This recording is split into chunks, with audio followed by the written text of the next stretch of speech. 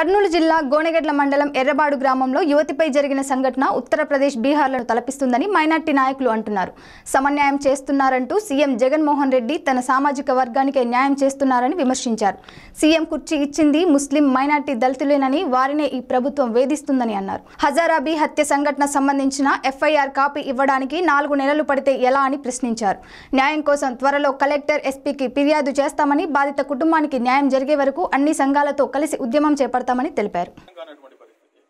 Four and half months అంటే ఈ అమ్మాయి ఈవిడ ఈ పెద్ద ఆవిడ తల్లి వెళ్ళి ఎఫ్ఐఆర్ నమోదు చేశారు మీరు. ఆ ఎఫ్ఐఆర్ కాపీ ఇవ్వండి అంటే మన ఎంఐఎం పార్టీకి చెందిన జునేద్ అన్న సోదరుడు ఇక్కడికి వచ్చి ఆ కాపీ అతను అడిగినంత వరకు ఆ కాపీ రానటువంటి పరిస్థితి. అంటే మీరు ఛార్జ్ తీసుకున్న తర్వాత అప్పుడు ఆ ఎఫ్ఐఆర్ కాపీ అనేది రావడం జరిగింది. అంటే మన గ్రామాల్లో మనకి తెలియకుండా ఇంత అన్యాయం జరుగుతుందా అంటే నిజంగా మనకి న్యాయం అనేది నేను ఇందాక నుంచి నేను కంటిన్యూస్గా అదే చెప్తున్నా.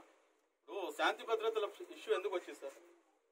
న్యాయం అనేది సమాజంలో సమానంగా జరగకపోతేనే అన్ని కుల మత వర్గ వర్ణ వైషమ్యాలు లేకుండా అందరిలో కూడాను న్యాయం అనేది సమానంగా నేను అన్యాయంగా వీళ్ళు ఒకళ్ళ పేరు చెప్పట్లేదు లేకపోతే ఇంకోళ్ళు ఒక పేరు చెప్పట్లేదు లేకపోతే ఒకళ్ళ మీద దీంతో రాలేదు. స్పష్టంగా కొన్ని పేర్లు ఆవిడ ప్రస్తావిస్తుంది. స్పష్టంగా కొంతమంది గురించి ఆవిడ అనుమానం ఉంది మాకు అని చెప్పేసి చెప్తుంది. దాని తర్వాత నాలుగున్నర నెలల వరకు ఇవ్వకుండా నీ నోరు పగలగొట్టేస్తాను నిన్ను లోపలికి వేస్తాను అని చెప్పేసి ఆ పెద్ద మనిషి సిఐ గారు ఇంతకుముందు ఉన్నటువంటి సిఐ గారు చెప్పారు. ఇప్పుడు నేను రాజకీయాలు కానీ లేకపోతే ప్రభుత్వ పరంగా కానీ మీరు వచ్చినాక నేను మాట్లాడదలుచుకోలేదు. దట్ ఈస్ అది నా వ్యక్తిత్వం వ్యక్తిగతంగా నేను ఏం చేసుకుంటానో అది తర్వాత అది. బట్ యాజ్ అ డిపార్ట్మెంట్గా మేము మీతో చేతులు జోడించి మొత్తం ముస్లిం సమాజం తరపు నుంచి మేము విన్నవించేది ఒకటే సార్. ప్రతి చోట కూడాను అన్యాయానికి గురవుతున్నారు. ఇంతకు ముందు కూడా మీరు గమనించారు అబ్దుల్సలాం విషయం. ఇదే కర్నూలు జిల్లాలో. మనకి ఇక్కడికి వచ్చింది స్పెషల్ ఏమీ లేదు సార్. మనకి ఏమైనా రాజకీయ ఇన్ఫ్లుయెన్స్ కానీ లేకపోతే ఇంకోటి కానీ ఇంకోటి నథింగ్.